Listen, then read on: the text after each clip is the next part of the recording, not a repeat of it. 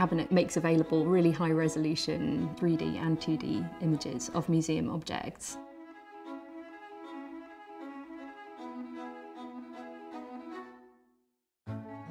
When you think about the founding of the uh, university museums, you know, that began really with Elias Ashmole bringing his collection to the university. And it was a collection that was supposed to be taught with, it was supposed to be in use for teaching and for research.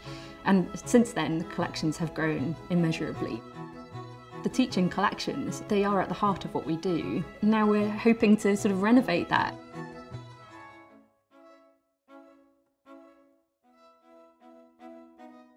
So Cabinet began as many great things do over coffee. We started talking about how we'd love to see many more objects in teaching and learning. A handling session, wonderful and enriching as it is, there can't be enough of them. So Cabinet makes beautiful, high resolution copies of museum objects available to the students. So they get a sense of a handling session, a virtual handling session whenever they need one.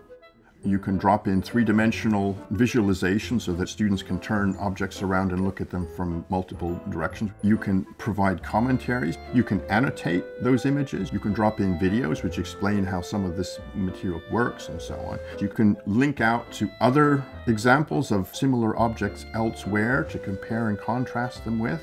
You can interlink the objects with one another the capacity for students to learn about whole constellations of physical objects is absolutely transformed by this new medium. It's very difficult to contemplate going back to doing things the old-fashioned way. So this term I've been using it for my scientific module. So there's been loads of different objects from the New World that they've discovered and scientific instruments that have been invented particularly in the 17th century, which is the time period that I'm studying, and seeing those and having never seen something like that before was definitely a like wow moment for me. A microscope, for instance, is one of the things that I've been looking at, and you can see how a particular valve works or where a particular part of the microscope is from. I'm really interested in material culture, particularly because of cabinet. So my coursework will be about objects and how they tell us about society. I think it could help a lot in terms of cultural awareness. So we could see different objects from different countries, understand them in an anthropological sense, find out more about a particular thing. I've never used anything technical in my teaching, uh, not even PowerPoint actually, so I'm like a real novice. But I found it actually surprisingly easy to use. It was actually a kind of, well, almost like a cabinet of drawers that you could open and actually find, you know, an orderly accumulation of materials that would enrich a student's experience. I found it really a very creative way of, of teaching and very, very different from anything that I'd done before. It's definitely energised and, and kind of changed the way that I've, that I've taught, definitely. I don't think I fully realized the extent to which my engagement with the material I teach was being held back by the incapacity to engage students with visual materials, with material culture, with the built environment. Once you've built up a resource, it isn't something that just vanishes. It has, you know, tr tremendous possibilities for people which haven't yet really fully been explored